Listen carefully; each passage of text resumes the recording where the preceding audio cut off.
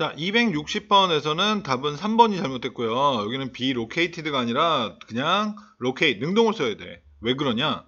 자, 여기서 보면은 자, encourage가 이제 오형식 동사인데 권고하다, 권유하다라는 뜻이에요. 자, 그 다음에 사업가들에게 목적어에게 목적격 보호하라고 권유했습니다인데 자, 그들의 회사를 위치시키라고 여기서 their companies는 목적어이기 때문에 여기에서는 능동이 들어가야 된다. 음. 그래서 그 다음에 locate의 의미는 위치시키다 라는 뜻이에요. 지금 쌤이 펜이 없어서. 자, 여기까지.